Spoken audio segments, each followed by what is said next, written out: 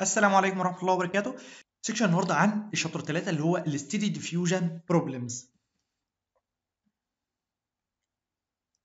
من البدايه خالص وإحنا بنقول إيه؟ إن إحنا هندرس point element إيه قلنا هنط- هنطلع ال governing equations لحاجة اسمها ال point element اللي هو عندي نقطة وحواليها volume وقبلها اسمه W اللي هو ال west وبعدها اسمه ال- الشرق اللي هو ال east اللي هو ال E capital ده إحنا وفي آه، فوقها وتحتها وقدامها وراها إحنا هناخد الايه النقطة واللي قبلها واللي وراها النهارده بس 1 dimension في اتجاه X حاجة تانية نبقى برضو نستذكرها كده إن ال volume اللي كنا بندرسه ده أبعاده delta X delta Y delta Z إذا نقدر نقول إن حجمه عبارة عن delta V أو dV عايز بس أكد إن إحنا استنتجنا ال governing equations ل point element برضو لما نيجي نطبقها هنطبقها على point element بنفس الوضع. ال sequence بتاع الشغل بتاعنا في ال chapter ده وال chapter اللي جاي إن إحنا نعمل إيه؟ نحدد مسألة محددة حاجة معينة عايزين نطبق عليها المعادلات. وبعدين نبسط ال governing equations اللي إحنا استنتجناها في صورة عامة نبسطها ونوقعها على الحالة اللي بنتكلم عليها. وبعدين نحول المعادلات التفاضلية أو الصورة التفاضلية للمعادلات إلى صورة جبرية. نحصل على شوية معادلات جبرية وبعدين نحل المعادلات الجبرية دي مع بعض ونعمل report لل results اللي هتطلع معانا. فيما سبق استنتجنا ال governing equations على ال point element زي ما قلنا. فاحنا دلوقتي عندنا continuity وثلاثة momentum وواحدة energy دول دول دي الصورة العامة للمعادلات. هنختار أول حاجة نعملها نختار حالة نوقع عليها المعادلات دي. أول الحالة اللي هندرسها في ال chapter ده إن إحنا يكون عندنا مسألة diffusion يعني إيه diffusion يعني انتشار داخل المادة والمادة واقفة في مكانها. مفيش convection فتوضيحا للموضوع. يعني هو ليه أمثلة كتير ولكن ده أوضح مثال ليه اللي هو عندي plane wall بالشكل ده؟ جدار. واسطحه ليهم درجات حرارة معلومة. معلوم درجة حرارة السطح من الناحية دي ومعلوم درجة حرارة السطح من الناحية الثانية خلي بالك ده سمك الجدار. يعني من صفر ل ده اتجاه X كده داخل الجدار. ده جوه الجدار. ده سطح ده مسقط السطح يعني ده يعتبر مسقط كده. وده الخط ده بقى عبارة عن مسقط السطح الأولاني. اللي هو مثلا لو دي لو ده جدار الغرفة اللي حضرتك قاعد فيها فده السطح الداخلي للغرفة مثلا من ناحيتك وده السطح الخارجي للغرفة من الناحية الثانية من بره. وبينهم ده سمك الجدار ال thickness اللي هنقسمه ل point volumes زي ما هنشوف وإحنا شغالين النهارده إن شاء الله. طيب الحالة اللي إحنا بندرسها دي حاله ال diffusion تعالى ما نشوف إحنا هندرسها في الحالة ال steady أول حاجة steady يبقى كل ال terms ات ال unsteady تطير. تاني حاجة أنا بتكلم على ال diffusion من غير convection يبقى كل term ات ال convection تطير. حاجة تانية أنا بتكلم على حاجة ساكنة واقفة في مكانها مفيش سرعات. مفيش انتقال من مكان لآخر. اذا كل أي term فيه سرعة يطير يروح من معايا. ف ال term ال term ات بتاعت ال momentum كلها هتطير وال continuity كلها هتطير. وال term ده من ال cont... من ال energy هيطير وال term ده كله سرعات هيطير ومفيش generation إحنا هنشتغل حاله مفيش source term مفيش generation ولا consumption فهيبقى لنا المعادلة دي بس. هي دي الحالة اللي إحنا هندرسها. حالة ال diffusion problem هتبقى بالشكل ده بس. ده term أصلا diffusion diffusion term فده اللي إحنا هنشتغل عليه في ال chapter 3 بالنسبة لل sheet بتاع chapter 3 أول آه، يعني أول مسألة تفصيلية شوية. الثانية فكرتها بسيطة وهنحتاجها وإحنا بنعمل أول مسألة أو في الموضوع بشكل عام. وبيقول إيه starting from the five governing equations of fluid flow and heat transfer write the differential equation of one dimensional heat conduction in z direction. بيقول لك اعمل اللي أنا لسه قايله من شوية على ال slide اللي فاتت اللي هو طبق ال ال ال تعالى هات ال- الخمسة governing equations وطبقهم على الحالة دي. اللي هو عندي one dimension heat conduction في ال z direction بس. طبعا الشغل اللي هنشتغله هيكون steady state وهنطير. ال term بتاع ال steady مفيش convection بصفر مفيش سرعات كل ده بصفر وده ال term بصفر فيبقى لي ال term ده بس اللي هو بتاع term ال diffusion طيب أنا دلوقتي ال term ده اللي هو ال nabla ده عبارة عن ثلاث حاجات partial partial x اتجاه i و y و z. فالمفروض أجيبه في ال one dimension اللي هو هنا لي z فال nabla dot k nabla T عبارة عن إيه؟ partial partial x. ليه؟ k partial T partial x وهكذا ال y وهكذا ال z ده 3 dimension إحنا عايزين 1 dimension اللي هو ال z بس. فآخد ال term بتاع ال z بس هو اللي يتبقى لي من المعادله دي كلها والباقي ده بصفار فيبقى term واحد اللي هو d by dz لل k لل dT by dz وخلي بالك إحنا خلينا ال partial دي ليه؟ لأن أنا لو سبتها partial partial معناه إيه؟ partial يعني تغير جزئي. طب ما التغير الجزئي ده معناه إن في تغير آخر. يعني في تغير كلي في في حاجة تانية بتتغير معاها. فبما إن الدالة بتتغير مع متغير واحد بس يبقى التغير بتاعها نتيجة المتغير ده هو التغير الكلي بتاعها. فما أقولش partial بقى أقول ال total derivative ده التغير الكلي في الدالة اللي عندي. فلما يبقى عندي حاجة 1 dimension تبقى بالشكل ده. الاستنتاج ده أو الجزء ده من الاستنتاج ده كده المسألة خلصت. إحنا هنحتاجه بقى في الشغل اللي هو بتاع ال mid أو بتاع ال ال السؤال الأول الأول في ال sheet اللي هو نستنتج العلاقة دي بالشكل ده. بس هنعملها على حالة حالة عامة شوية اللي هو فيها phi مش T لأن عشان نعمم الشغل بتاعنا أو بتاع ال chapter ده. السؤال الأولاني في ال sheet بيقول إيه؟ اللي هو هيبقى شبه ال midterm مش ال midterm هيبقى شبه الموضوع ده بشكل كبير جدا زي ال midterm المرفوع كده على ال Moodle بس متفصص شوية أو السؤال متفصص شوية. بيقول لي إيه؟ the following equation describes the transport of the variable phi. ادي المعادلة أهي اللي هي شبه ال energy وشبه ال momentum يعني ممكن تكون energy وممكن تكون momentum ال phi دي ممكن تكون سرعة وممكن تكون temperature طيب لما يقول لي إيه؟ simplify the equation to model one dimensional steady diffusion in x direction يبقى أنا دلوقتي أول حاجة 1 dimension.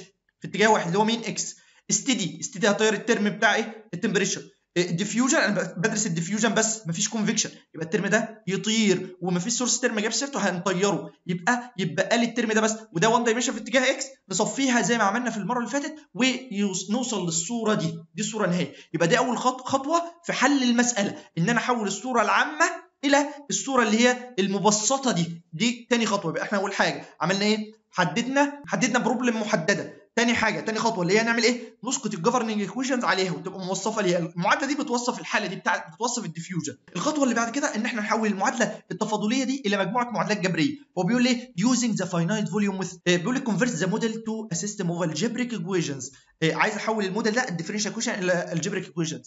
use the variables phi a and phi b to express Dirichlet boundary conditions. يبقى أنا عندي phi A و phi B ده ده المفروض قيم تكون موجودة اللي هي زي ما قلنا من شوية T 1 و T 2 فده قيم معلومة. معلوم ال boundary conditions. معلوم درجة الحرارة من هنا ودرجة الحرارة من هنا. طب في النص درجات الحرارة تبقى عاملة إزاي؟ ده اللي المفروض حضرتك تستنتجه. Illustrate with relevant sketch. لازم ترسم وأنت شغال. لازم ترسم زي ما هنوضح إن شاء الله.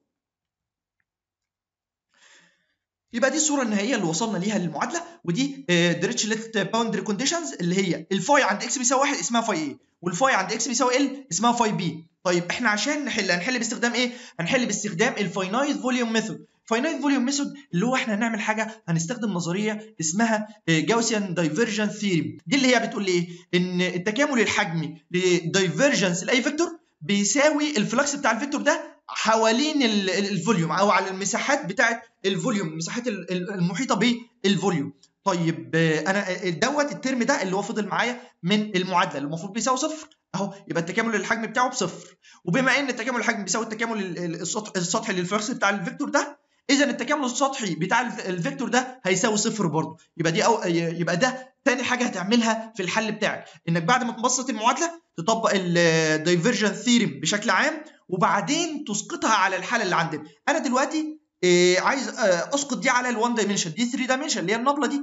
nabla phi دي partial partial x في اتجاه i partial partial y في اتجاه j partial partial z في اتجاه k لا إحنا عايزين بس ال1 dimension اللي هو في اتجاه x تبقى d phi by dx في اتجاه i وخلي بالك ال i لسه معانا لأن لسه ما عملناش ال dot product ال i طارت هنا لما كنا عملنا ال dot product عملنا ال dot product فيدينا حاجة scalar إنما أنا هنا ما زلت لسه ما عملتش ال dot product لأن ده عبارة عن إيه؟ عبارة عن ال normal unit vector الخارج من السطح. يعني كل سطح أطبق عليه العلاقة دي أحط عليه كده خط عمودي عليه وخارج منه. هو ده ال normal unit vector بتاع السطح ده. طب إحنا هنوصف الموضوع ده إزاي؟ أنا بقول لك جدار وفيه درجات حرارة متغيرة خلال السمك بتاعه وعايزين نقسم السمك بتاعه إلى 5 5 elements أو 5 point elements volumes زي الشكل اللي موجود دوت اللي هو بنعمل discretization للحاجة اللي عندنا بنقسم ال domain بتاعنا. أنا دلوقتي قلت لك إن ده ال thickness بتاع الجدار وده درجة الحرارة أو ال phi بشكل عام عند البداية ودي درجة الحرارة أو ال phi بشكل عام عند النهاية. قيم هتكون معطاة في المسألة بس بشكل بس في البداية بنحطها مجاهيل بالشكل ده وبنحطها على شكل variable يعني. وفي الآخر نعوض عنها بقيم. دي في البداية عند x بيساوي صفر ودي في النهاية عند x بيساوي L. هترسم الشكل ده. هترسمه إزاي؟ ارسم خط طوله 10 سم وتحط على بعد 1 سم نقطة. نقطة واحد. وعلى بعد 2 سم 2 سم 2 سم 2 سم تحط النقط. 2 3 4 5 هيبقى معاك 1 سم هو ده النهاية. خلي بالك. لازم يبقى المسافة بين أول نقطة والبداية نص المسافات البينية بين أي نقطتين. ونفس الكلام المسافة بين آخر نقطة والنهاية نص المسافات البينية بين أي نقطتين في الداخل. خلي بالك إحنا عندنا إيه؟ كده نقط بينية اسمها 2 و3 و4 دي اسمها ال non-boundary points أو non-boundary volumes والنقطة اللي هي دي اللي هي ناحية النقطة واحد اللي هي ناحيه ال phi A اللي هي في الغرب في ال west والنقطة اللي هي دي اللي هي النقطه خمسة ناحية ال phi B اللي هي في الشرق اللي هي في ال east. دي اسمها ال east boundary volume ودي اسمها ال west boundary volume لسه برضه هيوضح معاك المصطلحات دي وإحنا شغالين. وانت بترسم برضه هترسم ان المسافة بين أي نقطتين delta x ومن البداية هنا delta x على 2 والنهاية هنا delta x على 2 تختار نقطة ما وليكن النقطة 2 وتعمل حواليها مستطيل منقط بالشكل ده. ده ال point volume بتاعنا. ده عبارة إحنا مقسمين كده ال domain اللي 5 point volume أهو ده volume ده الثاني وده الثالث ده الرابع وده الخامس. وكل نقطة في نص ال point في نص ال volume. وفي حاجة قبلها وفي حاجة بعدها. النقطة لما أجي أقول النقطة دي اللي قبلها هو ال W واللي بعدها هو ال E اللي هو ال east وال west شرق وغرب. النقطة 2 بعدها النقطة 3 هقول إن هي في شرقها. E capital النقطة 2 قبلها النقطة 1 هقول إن هي في غربها W capital طيب ال volume اللي أنا عملته حوالين النقطة 2 ليه سطح من ناحية من ناحية الشرق اسمه هنرمز له بالرمز اي سمول وسطح من ناحية الغرب نرمز له بالرمز دبليو سمول يبقى السمول بتاع الأسطح بتاع ال volume وال capital بتاع النقط المجاورة neighboring point والنقطة اللي أنا بتكلم عليها هنقول عليه هنرمز لها بالرمز P capital دي ال point اللي إحنا هندرسها. عايزين نوقع دي بقى الحالة دي على ال point اللي إحنا ال volume اللي عندنا ده. تعالى اما نشوف كده هيطلع معانا شكله عامل إزاي. أنا دلوقتي عايز أطبق العلاقة دي اللي هي عبارة عن حاصل ضرب dot product لأن normal vector خارج من السطح. في gamma d phi by dx i في dA في المساحة. خلي بالك التكامل عبارة عن أصلا سمشن جمع. إن أنا بجمع الحاجات. فلف على الاسطح اللي عندي وأجمع الحاجات دي حصل ضرب الحاجات دي ببعضها أنا دلوقتي عندي كام سطح حوالين ال point دي؟ عندي عندي ستة. واحد من هنا وواحد من هنا واحد فوق واحد تحت واحد قدام واحد ورا. الستة دول مفيش غير اتنين بس اللي بيحصل عليهم تبادل حراري. مفيش غير اتنين بس بيحصل عليهم d phi by dx اللي هو الدبليو والاي إنما الفوق وتحت مفيش لأن متخيل ده الجدار ده درجة حرارة 100 وهنا درجة حرارة 50 فهيحصل انتشار حرارة من 100 ل 50 في الاتجاه ال x بس. مفيش حاجة هتطلع لفوق مفيش حاجة تنزل لتحت. فعندي سطحين بس اللي هو الدبليو. والاي اللي بيحصل عليهم تبادل حراري. فهنطبق العلاقة دي بالنسبة للسطحين. تعال نشوف ال n اللي هو ال normal unit vector الخارج من السطح. بالنسبة للسطح e؟ normal unit vector خارج من السطح. أهو. هيبقى عبارة عن حاجة بالشكل ده اللي هو هيبقى ال normal unit vector أو ال unit vector اللي في اتجاه x اللي هو i طب بالنسبة ل w ال normal unit vector الخارج من السطح لبره هيبقى عبارة عن إيه؟ حاجة بالشكل ده. وهيبقى unit vector عكس اتجاه x أو في الاتجاه السالب بتاع x اللي هو هيبقى سالب i تعالى بقى نطبق الكلام ده هنا. هنضرب الان بتاع الدبليو في الكلام ده. نشوف هيطلع بإيه. سالب i في i يديني سالب واحد. سالب واحد. وده الجاما وده ال area بتاعت السطح ده اللي هو عبارة عن الارتفاع في العرض في العرض أو البعد العمودي على الصفحة. في d phi by d x الكلام ده عند الدبليو طب بالنسبة للإيه؟ ادى ال e dot i يديني واحد. يبقى حاجة موجبة بالشكل ده عند ال e يبقى هي نفس الشكل بس هنا سالب عند الدبليو وموجب عند الاي عايزين نعمل إيه بقى؟ إحنا كده بسطنا الحالة بتاعتنا. يعني حولناها من second order من معادلة تفاضلية من الدرجة الثانية إلى معادلة تفاضلية من الدرجة الأولى. عايزين بقى المعادلة التفاضلية دي نحولها لمعادلة جبرية. خلي بالك المعادلة التفاضلية دي عبارة عن إيه؟ فرق على فرق. أنا هشيل الفرق على فرق ده كتفاضل وأحطه فرق على فرق كمعادله جبرية أو كصوره جبرية اللي هو قيم ناقص قيم اللي ناقص اللي على فرق قيم لل x يعني. هنعمل الكلام ده عن طريق إيه؟ عن طريق استخدام حاجة اسمها Taylor series مفكوك تيلور تعال نشوف كده Taylor series ده هنستخدمه إزاي. ده Taylor series اللي هو بيمثل إيه؟ قيمة الدالة قيمة الدالة. لو عندي دالة x f of x دالة في x مثلا متغيرة بأي شكل ما. وعندي قيمة ل x عندي قيمة ما عند x وعايز أجيب قيمة الدالة بعدها بشوية أو قبلها بشوية. تعال نشوف كده. لو عايز أجيب قيمة ال f عند x زائد delta x على 2 بعد ال x بحتة صغننة اسمها delta x على 2 هيبقى قيمتها عاملة إزاي؟ هيبقى عبارة عن قيمتها الأولانية عند ال x زائد تفاضلها عند ال x في delta x على 2 زائد التفاضل الثاني عند ال x في delta x على 2 تربيع على 2 أو على مضروب 2 يعني بمعنى صح زائد التفاضل الثالث في delta x على 2 تكعيب على مضروب 3 وهكذا لحد التفاضل ال n للداله f بالنسبة ل x في delta x على 2 اللي هو الحتة اللي أنا همشيها اس n على مضروب n وخلي بالك ده مضروب 2 اللي هو ب 2 وهنا delta x على 2 على مضروب 1 اللي هو بواحد هنحتاج برضو إن إننا نكتب تيلور مفكوك تيلور للداله إن أنا عايز أجيب قيمة الداله قبلها بشوية اللي هو f of x ناقص delta x على 2 هيبقى شكله عامل كده.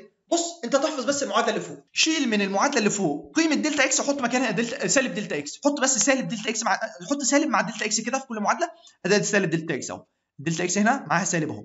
delta x معاها سالب تحت التربيع يروح يبقى ما أحط ما يبقاش في هنا سالب.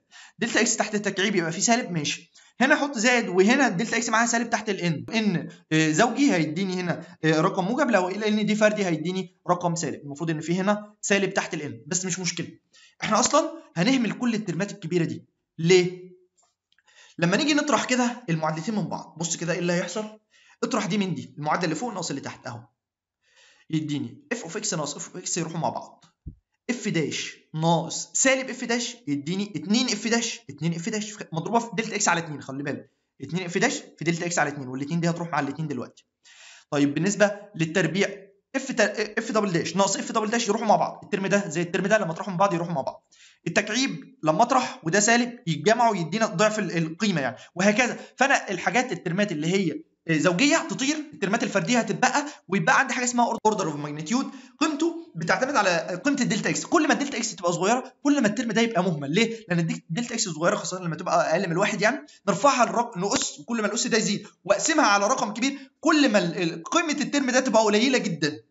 فنقدر نهمله. فنهمل ال term ده ونقول إن ال f dash اللي هو تفاضل هيبقى عبارة عن إيه؟ هيبقى عبارة عن فرق بين دالتين دالتين جبريتين في صورة جبرية على delta x خلي بالك الاثنين هتروح مع الاثنين أنا كده بطلع إيه؟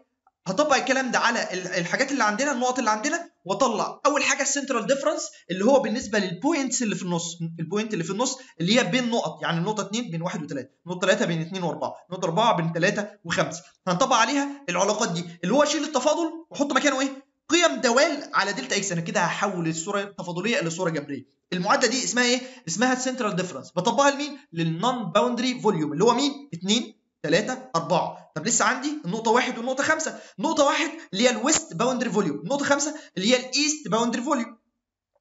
تعالى لما نطبق كده. لو جينا نطبق عليها العلاقة هلاقي إن في مشكلة. النقطة 1 ما فيش قبلها نقطة.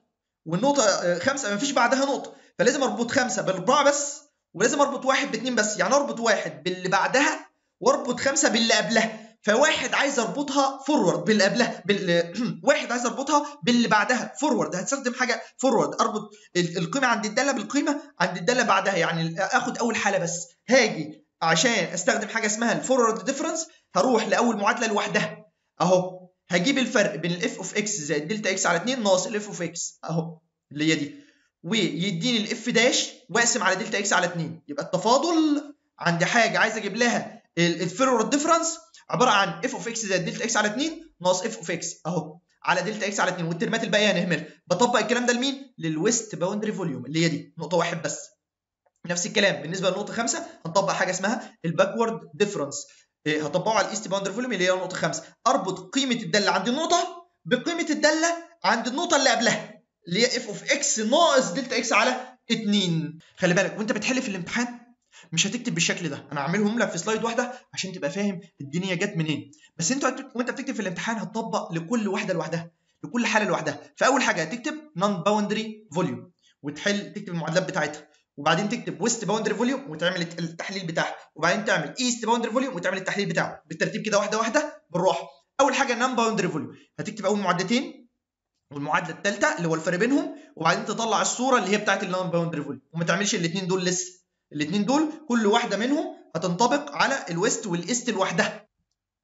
تعالوا بقى نطبقهم واحدة واحدة. بالنسبة أول حاجة لل non-boundary volume اللي هو ال central difference هنطبق ال central difference هاجي للمعادلة الأصلية. المعادلة دي هكتبها كل مرة. كل مرة كل ما أجي أطبق على ال non-boundary أو ال east أو ال أو ال west اطبق المعادلة المعادلة الأساسية اللي استنتجناها بتاعة ال finite volume method اللي طلعناها في بطريقة ال finite volume method طيب عايزين بقى نشيل التفاضلات ده اللي هو الفرق التفاضلي ده ونحط مكانه فرق فرق جبري بالشكل ده. هنرسم الرسمة دي. طبعا المفروض تكون رسمتها في الأول فمش لازم تعينها تعيدها تاني في الحالة دي. فهنرسم الرسمة دي ونطبق عليها العلاقات دي. تعال اما نشوف كده.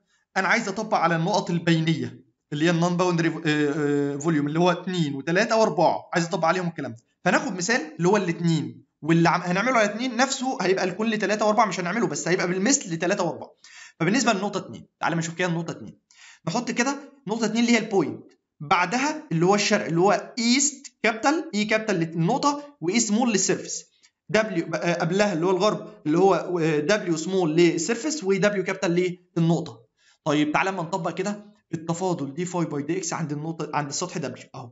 التفاضل هنا. المفروض أشيل التفاضل وأحط مكانه إيه؟ فرق الدوال قبل وبعد على delta x أشوف قيمة الدالة بعد النقطة ب delta x على 2 يعني أشوف كده ال W أمشي delta x على 2 أشوف قيمة الدالة اسمها إيه؟ اسمها phi P وأطرح منها قيمة الدالة قبلها ب delta x على 2 ارجع كده من ال W delta x على 2 الداله اسمها إيه؟ فاي دبليو اللي هي المفروض phi واحد يعني. أو يعني بس عشان نعملها نطلع صورة عامة هنسميها فاي دبليو. تمام كده؟ يبقى أطرح phi P ناقص phi W على ال delta x بالشكل ده. phi P ناقص phi W على ال delta x. طيب ما فهمتش. ركز تاني. ركز تاني. تعالى نعملها للإيه؟ لل E هشيل d phi by dx. الفرق التفاضلي ده وأحط مكانه فرق جبري. إزاي؟ هروح للنقطة إيه؟ التفاضل عندها. المفروض أقدر أشيل وأحط مكانه. قيمة الدالة بعدها ب delta x على 2 ناقص قيمة الدالة قبلها ب delta x على 2 قيمة الدالة بعدها القيمة بعدها ب delta x على 2 اللي هي ال phi E capital وقيمة الدالة قبلها ب delta x على 2 اللي هي phi point يبقى phi E ناقص phi point على ال delta x. خلي بالك دي جاما في A gamma في A gamma في A gamma في A. gamma في A و delta x لو بيساووا بعض في الناحيتين بالنسبة لل W وال E فيطيروا مع بعض ويبقى لي المعادلة تصفى بالشكل ده اللي هو phi P بالسالب أهي وهنا phi P بالسالب برضو يبقى سالب 2 phi P. وهنا فاي دبليو سالب مضروبة في سالب بقت موجب. وهنا phi E موجبة اهي. خلي بالك رصهم بالترتيب بتاعهم اللي هو إيه؟ دبليو بي اي. دبليو بي اي. المعادلة دي عبارة عن ثلاث معادلات. يعني إيه ثلاث معادلات؟ يعني دي معادلة عامة للثلاث نقط البينيين البينيين دول اللي هم 2 و3 و4 فلو جيت بالنسبة للنقطه 2 ال P اللي هي 2 W اللي هي 1 E اللي هي 3 يبقى phi 1 ناقص 2 phi 2 زائد phi 3 هتكتبها كده. وبعدين المعادلة معادلة ثانية دي المفروض ثلاث معادلات تفكهم. اكتبهم في الحل. بالنسبة للنقطة 3 هتشيلها وتحط مكانها إيه؟ 2 3 4 2 3 4 بالنسبة للنقطة 4 هتشيلها وتحط إيه؟ 3 4 5 3 4 5 نفس شكل المعادلة كده بس تكتبها ثلاث مرات للثلاث نقط 2 و3 و4 طيب بالنسبة للنقطه 1 والنقطه 5 أنا امسكهم واحدة واحدة. أول حاجة ال west boundary volume. تعال نطبق عليها كده ونشوف المعادلة بتاعتها المعادلة الجبرية بتاعتها هتبقى شكلها عاملة إزاي. ال west boundary volume هحتاج أطبق عليها ال forward difference ليه؟ بص كده النقطة واحد ال volume واحد ده. هترسم برده تاني هترسم بقى رسمة تانية أهي ترسم رسمة جديدة. اللي هو تطبق على النقطة واحد. بص سيبك من الجزء الأولاني من الرسمة سيبك من النقط من 3 لحد ال phi P ارسم بس لحد هنا. اللي هو هات لي ال phi 2 معايا في الصورة. وحط بقى ال volume كده حوالين النقطة واحد وقول لي إن قبلها دبليو سمول ومفيش W capital مفيش نقطة هنا أهو وده اسمها phi A معطى وهي دي النقطة point اللي أنا بدرسها. وبعدها الشرقيه يعني اللي هو الاي سمول وبعدها وبعدها كده اللي هي ال E capital اللي هي النقطة 2 تمام أنا عايز أطبق على الحالة دي. لو جيت أطبق ال central difference المفروض ال central difference بيقول لي إيه؟ قيمه الدالة. بعد النقطة ب delta x على 2 أنا هطبق عند ال W وعند ال E لما أجي عند ال W كده بعد النقطة ب delta x على 2 اللي هو phi P قبل ناقص قبل النقطة ب delta x على قبل النقطة إيه؟ مفيش حاجة قبلها ده دي آخر حاجة مفيش حاجة قبلها. فما ينفعش أطبق الحالة دي على النقطة على, على السطح W فأعمل إيه؟ أطبق قاعدة ال forward اللي هو بيقول إيه؟ بيربط النقطة باللي بعدها بس وماليش دعوة باللي قبلي عامل إزاي. فهنا هاجي لل d phi by dx عند ال W وأطبق الحالة دي. تعالى ما نشوف كده هتبقى شكلها عامل إزاي. بص هنقسم على delta x على 2 وهقول هشيل d phi by dx واحط مكانها. قيمة الدالة بعدها delta x على 2 اللي هي phi P ناقص قيمة الدالة عندها اللي هي phi A يبقى phi P ناقص phi A و phi P دي اللي هي واحد. ناقص phi A اللي هي المفروض هتبقى رقم في الآخر. النقطة 2 بقى أو النقطة إيه؟ وقع بين نقطتين واحد واثنين فأقدر أطبق ال central difference عادي. هنطبق ال central difference اللي هو phi 2 ناقص phi 1 أو phi E ناقص phi P phi E ناقص phi P اللي هو phi 2 ناقص phi 1 نصفي المعادلة هنطير gamma A على delta x من الطرفين ويبقى لي معادلة جبرية بالشكل ده. ده سالب phi P وده هنا. سالب phi P خلي بالك في هنا النص فوق يطلع فوق يبقى سالب 2 phi P وسالب phi P يبقى سالب 3 phi P وال phi A على على نص تبقى 2 phi A موجبة تروح الناحية الثانية عشان تبقى right hand side رقم يعني بالسالب بالشكل ده وعندي phi E بس بالشكل ده. خلي بالك هتكتبها بقى كأرقام برضو. في الآخر المعادلات هتبقى بدلالة الأرقام. أنا دلوقتي المفروض عندي قيمة phi A و phi B. وعايز ال phi عند 1 و2 و3 و4 و5 أنا عايز خمس معادلات. في خمس مجاهيل عشان أحلهم مع بعض. فهنشيل phi P ونحط مكانها phi 1 ونشيل ال phi E ونحط مكانها phi 2 وتبقى دي دالة في phi 1 و phi 2 تعالى بقى نطبق في حالة ال east boundary volume بالنسبة لل east boundary volume هنحتاج نستخدم ال backward difference وخلي بالك برضو هترسم لثالث مرة أو رابع مرة لو لو رسمت مرتين في الأول. طيب هرسم بس الجزء اللي في الآخر ده. سيبك من أول جزء. أهم حاجة النقطة 4 تبقى ظاهرة مع 5 مع phi B. وهطبق ليه النقطة اللي هي ال east آه اللي هي ال east boundary volume دي. نفس الكلام أحط عندها point دي ال point اللي أنا بدرسها بعدها e small ومفيش E capital قبلها دبليو سمول وقبلها دبليو كابيتال عند النقطة. طيب لما أجي أطبق بقى على النقطة 5 دي أحط ال difference هيبقى في w e w e قبلها وبعدها. لما أجي أطبق على الدبليو مفيش أي مشكلة في قبلها نقطة وبعدها نقطة أطبق ال finite difference عادي مفيش أي مشكلة. إنما لما أجي أطبق عند النقطة e مفيش بعدها حاجة. فلازم أربطها باللي قبلها بس. فلازم أستخدم حالة الإيه؟ ال backward اللي هو بيربط النقطة باللي قبلها. قيمة الدالة عند النقطة ناقص قيمة الدالة قبلها.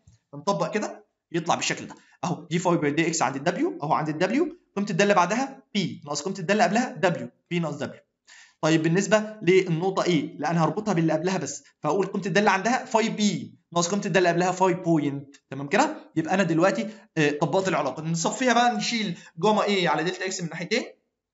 وتصفى المعادلة على الشكل ده. نفس الكلام ادا الفاي دبليو هتبقى موجبة. سالب سالب وموجب phi P ادا سالب phi P وده هنا سالب آه، 2 phi P. ده هتطلع فوق يبقى 2 phi P يبقى 3 phi P. و2 phi B اللي هي هتبقى بالموجب هنا نوديها هناك بالإشارة سالبه عشان تبقى في ال right hand side رقم يعني لما نعوض بيها. ونعوض عن ال W بأربعة ونعوض عن ال P بخمسة. يبقى عندي معادلة خمسة بالشكل ده يبقى أنا كده عندي خمس معادلات في خمس مجاهيل المفروض نحلهم مع بعض. تعالى ما نشوف هنعمل إيه في حل المسألة. ادا الثلاث صور اللي طلعناهم من المعادلات المعادلات الجبرية في الصور العامة بتاعتها. لما نيجي نسقطهم على ال points بتاعتهم هيطلع خمس معادلات في خمس مجاهيل بالشكل ده.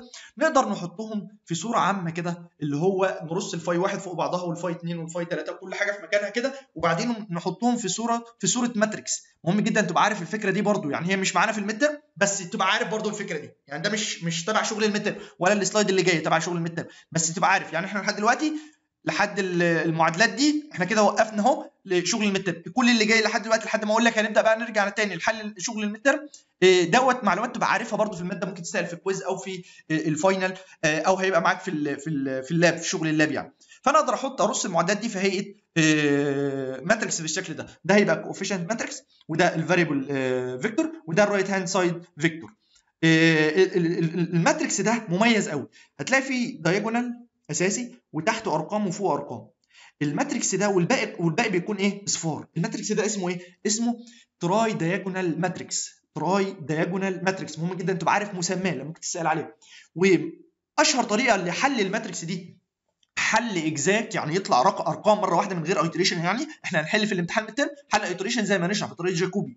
إنما الحل المباشر واللي بيطلع قيم مباشرة من غير تكرار بس طبعا بياخد خطوات طبعا وبيكون مجهد للأجهزة أو للكمبيوتر لو اتعامل بيه أكتر من طريقة جاكوبي. فإحنا هنبقى عارفين بس إن في طريقة اسمها إيه؟ forward اللي هي Gauss Gauss forward elimination Gauss elimination method هنطبقها بشكل إيه؟ forward elimination backward substitution يعني هنزل كده أعمل elimination للقيم اللي تحت ال diagonal الاساسي اللي هو السالب واحد ده عايز اخليها صفر فاضرب أول صف في تلت أو أقسمه على ثلاثة يعني واجمع الصف اللي تحت بقى دي بصفر وهكذا. عايز أخلي دي بصفر ودي بصفر ودي بصفر فيبقى عندي كل ال diagonal ده كل القيم اللي تحته بصفر. نرجع بقى نعوض backward substitution يعني نيجي آخر مع آخر صف.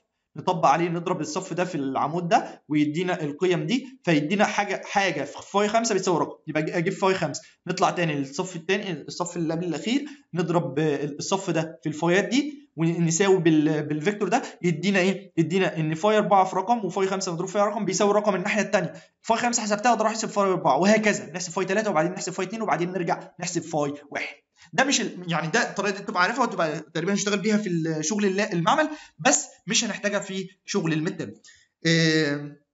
برضه في ال sheet السؤال الثالث برضه مش داخل معانا في ال mid الموضوع ده بس تبقى عارفه لازم يعني تبقى عارفه وممكن يجي لك في حاجة ثانية quiz بقى في ال final يعني هتتسأل عليه بصورة ما. اللي هو يعمل إيه؟ يرص لك المعادلات بشكل عشوائي بالشكل ده. دي المعادلات على فكرة ان إحنا كنا بنتكلم عليها من شوية.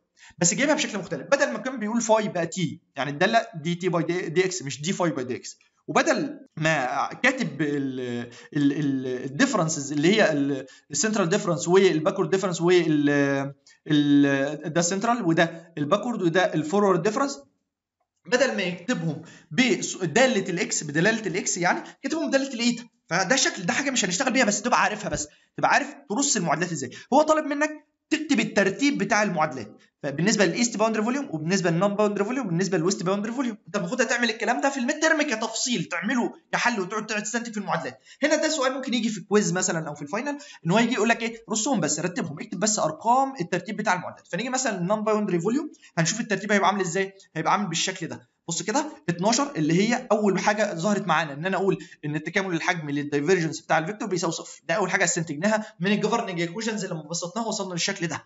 إيه تاني حاجة إن أنا استنتجت من ال divergence theorem إن التكامل إن ال flux بتاع ال divergence ده بيساوي إيه؟ بيساوي صفر. يبقى دي تاني حاجة. تالت حاجة إن أنا إيه إن أنا أبسط أطبق الكلام ده على ال volume وأطبق ال surface عند ال W وعند ال E دي تالت خطوه اللي هي رقم 10 يعني. بعد كده رقم 6 اللي هي إيه أطبق ال Taylor series هنستخدم في ال non boundary هنستخدم الحاله اللي هي إيه؟ ال central difference اللي هي بالشكل ده. وبعدين نوصل للمعادلة النهائية اللي هي رقم 9 دي المعادلة اللي بتعبر عن ال non boundary volume بالنسبة لل east boundary volume هتلاقي يظهر معاك الترتيب هيكون إزاي بقى؟ هيكون بنفس أول أربع حاجات. يعني بص 12 2 10 6 أول أربع خطوات هم هم نفسهم هيكرروا هم هم في ال east وكذلك برضو في ال west. آخر خطوتين بس هم اللي يختلفوا اللي هم 4 و11 4 اللي هو هستخدم بالإضافة لل central difference هستخدم برضو إيه؟ هستخدم مع ال east boundary volume هستخدم ال forward difference وبعدين المعادلة اللي هي هتطلع في الصورة رقم 11 خلي بالك جايب لك حاجات زيادة كده تلخبطك. يعني في هنا آه المعادلة دي غلط. دي مش مش معانا أصلا مش موجودة خالص مش هتظهر معانا.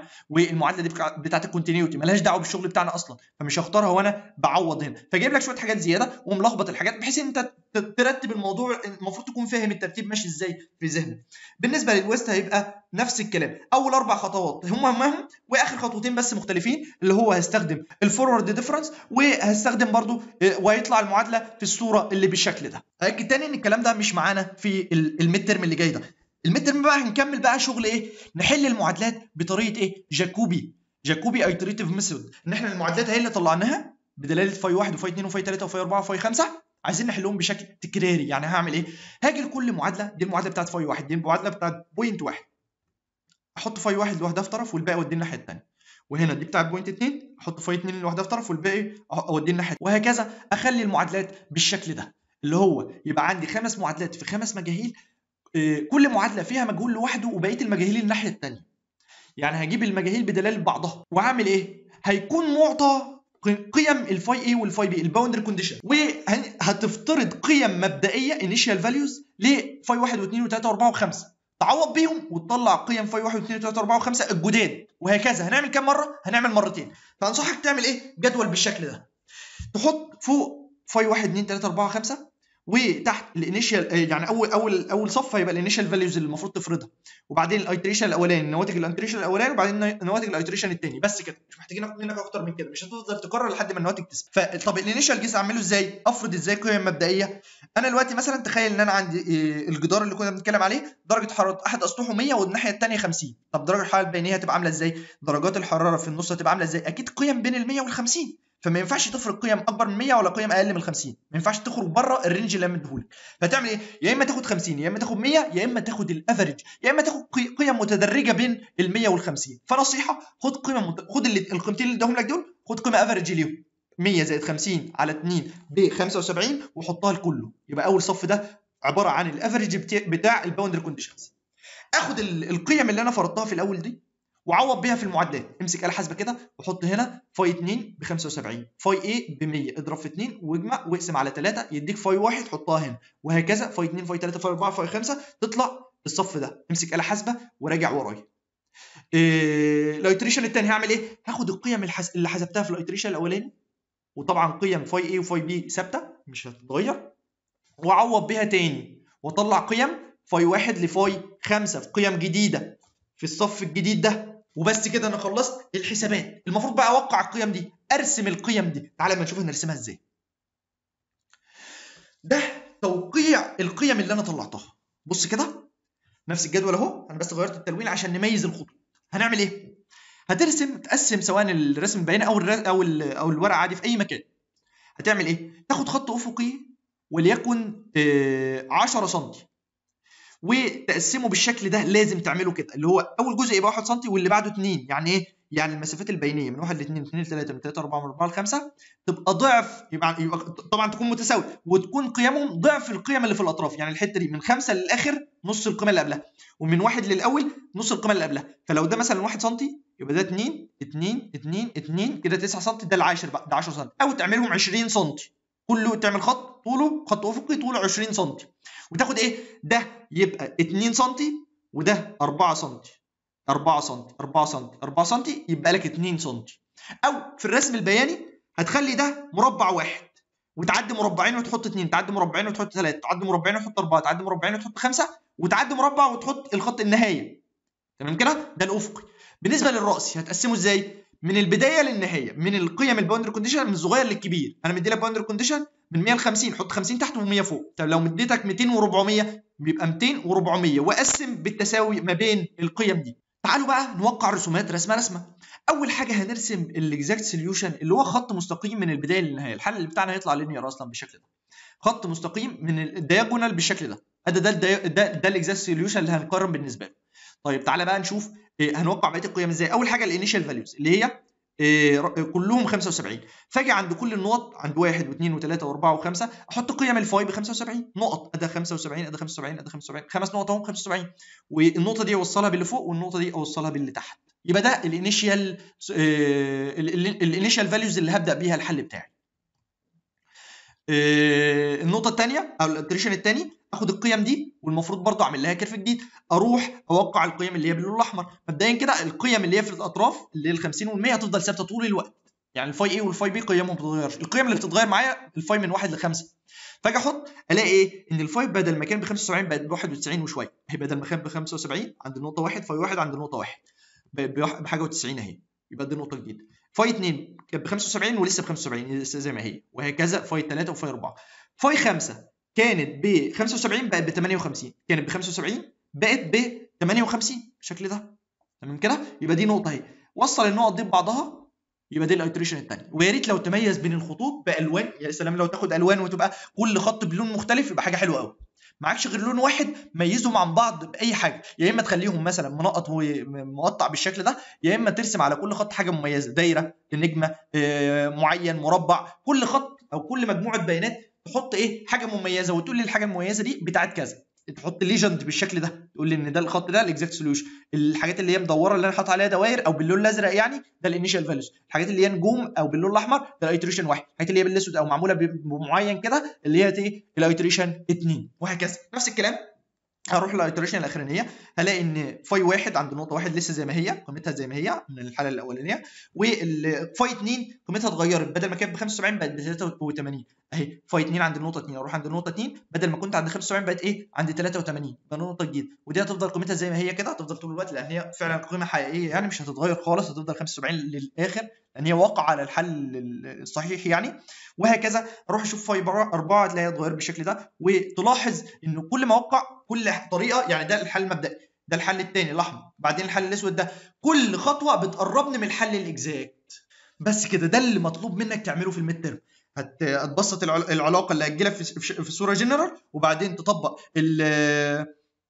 ال divergence theorem وتطلع المعادلة التفاضلية اللي هي هتبقى d phi by dx عند ال W وعند ال E وبعدين تطبق Taylor series عند الثلاث مرات عند ال non boundary volume وعند ال east boundary volume وعند ال west boundary volume وتطلع خمس معادلات جبرية ترصهم مع بعض وتكتبهم في صورة اللي هي تطلع كل variable لوحده في طرف والبقية المعادلات في طرف وتحل تعوض بالقيم ال initial اللي انت هتفرضها بقيم متوسطة بين ال boundary conditions المعطاه وتطلع القيم لمرتين بس تعمل تكرارين بس يعني تحسب القيم مرتين بس وبعدين ترسم القيم اللي معاك ده.